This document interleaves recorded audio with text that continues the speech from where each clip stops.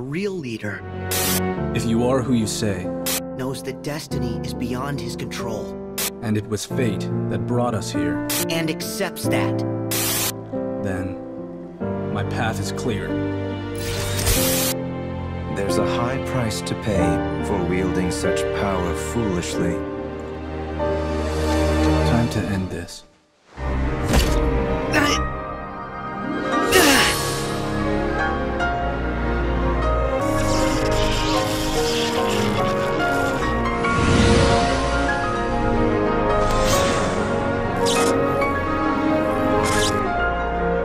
Sora is trapped in the final world, stripped of his powers of waking and unable to return home.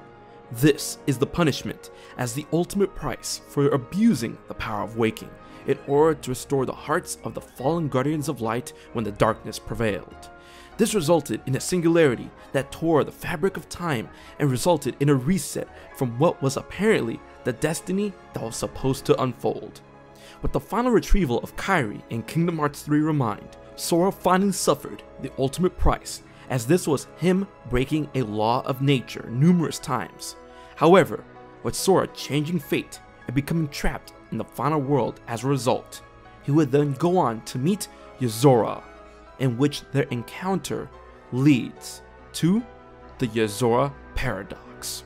What's up guys, it's HMK once again with another 5th Dimension Kingdom Hearts 3 Remind video, tackling an aspect that when thought about leads to a contradiction and possibly a revelation of what destiny and fate truly is and who played a part in the encounter between the sky and the night sky.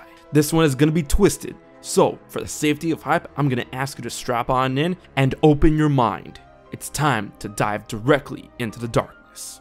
The thing about Sora, meaning Yozora, is that it's actually a crazy paradox when you think about the concepts of destiny and fate, and what is truly meant to be, and what is defying what is apparently prophesized. As in Kingdom Hearts 3 Remind, when Yozora converses with Sora, he states that their meeting was orchestrated by destiny, and that it was fate that brought them to each other. Echoing this motif is Yozora's journal entry, which reads, A young man who was destined to meet Sora. His true identity is shrouded in mystery. So, Sora meeting Yozora was destiny. It was fate, right? Well, that's all well and good, but the problem is, how can this exactly be fate for them to meet when Sora becoming trapped in the final world is a punishment for defying and changing fate? If it was always destiny for Sora to meet Yozora, and the only way for Sora to come into contact with Yozora was altering fate, altering destiny, altering history that led to his punishment, then what is the truth? As if Sora didn't defy destiny, if he didn't use the power of waking after the defeat of the Guardians at the Keyblade War when the darkness prevailed, then he would never have met Yozora. Yet, that was destiny. And that is the paradox we need to consider, my friends, as it seems that fate is something that can be changed by abusing the power of waking, and breaking that law results in a punishment. Yet breaking and changing fate allows for a meeting that was dictated by fate. This embedded contradiction is what I call the Yozora paradox within Kingdom Hearts, as the conundrum is born from his meeting with Sora that truly then makes you wonder about the concept of destiny and what is the true destiny that is supposed to unfold with this line of events. As if this was truly within the design that was foreseen in the Book of Prophecies and the Master of Masters, as there is an incredible clue that pertains to that notion, then we have to think about what was truly written in that book. Could it be that the missing page, or the concept of the missing page, you know, something that was torn out of a book, thereby possibly removing the line of events, or at least hiding it? Could that be part of the conundrum? With Sora meeting Yozora, was this always meant to be through the Master's design? Is that why he was there during the Yozora secret movie in base Kingdom Hearts 3? As we do know that this is a recurring dream of Riku, thanks to Kingdom Hearts 3 Remind, and that Sora's eventual clash with Yozora does take place within the same setting of Shibuya as with Riku's dreams.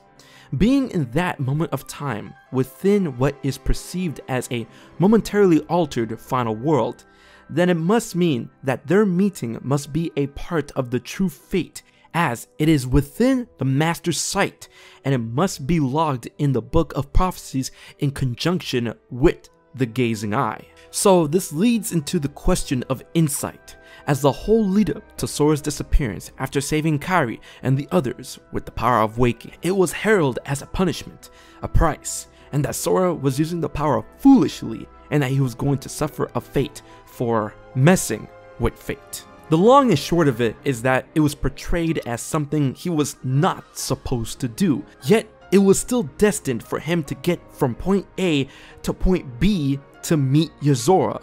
And then when you think about the components and the entrail of everything about Sora and Yozora's meeting and what can be conceived as the true fallout is that Yozora isn't inherently an enemy and that he should never even be in the same sentence as the word evil or villain. And that this first true encounter between these two characters can lead to something of a team up or even a friendship down the line, especially given their dynamics, connections, and yes, duality. I definitely see Yozora being the yin to Sora's yang. What I'm trying to say is that the endgame of Sora coming into contact with Yozora should not be viewed as something of sort of a punishment or a price, rather than a reward. And you know who echoed this notion? Xigbar, or rather we should say Luxu, that he stated from the beginning of Kingdom Hearts 3 that in the end you will finally see what destiny has in store for you. In fact, your reward might be right around the corner.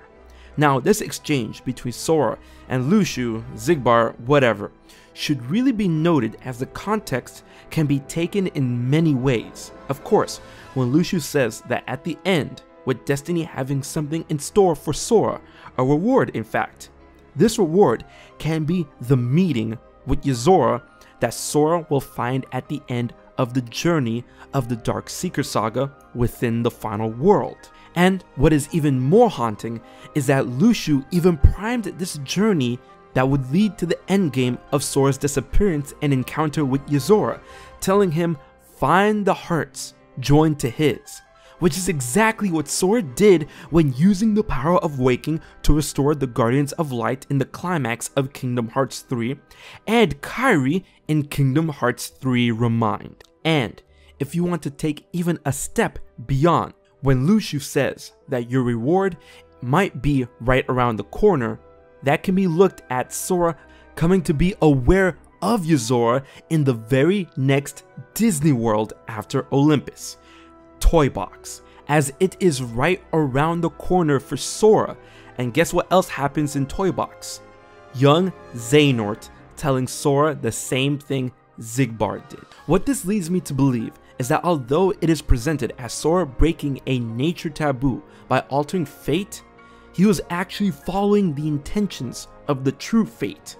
That Sora breaking design was indeed a part of the design itself, which is why his words to Xehanort about destiny is beyond the control of anyone.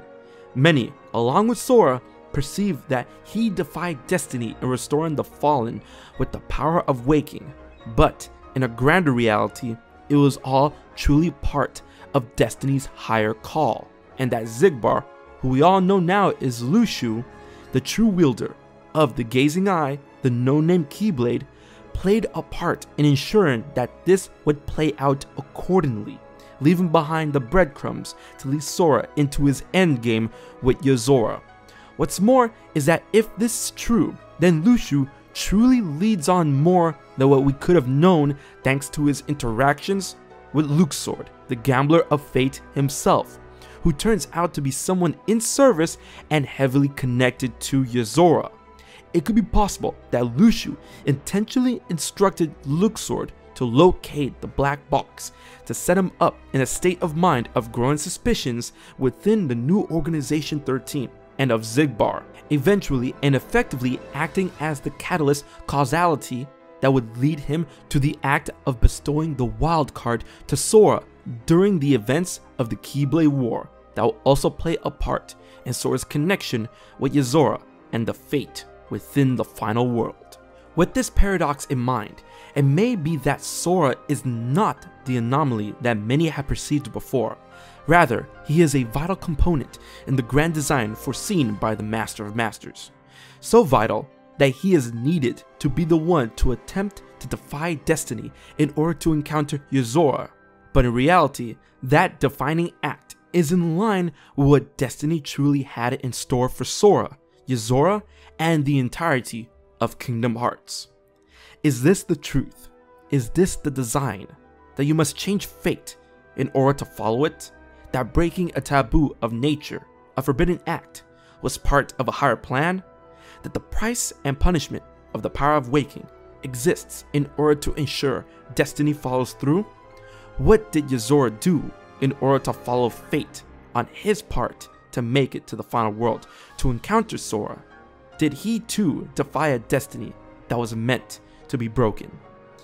This was meant to be, or was it? That is the Yozora paradox. I hope you enjoyed this video.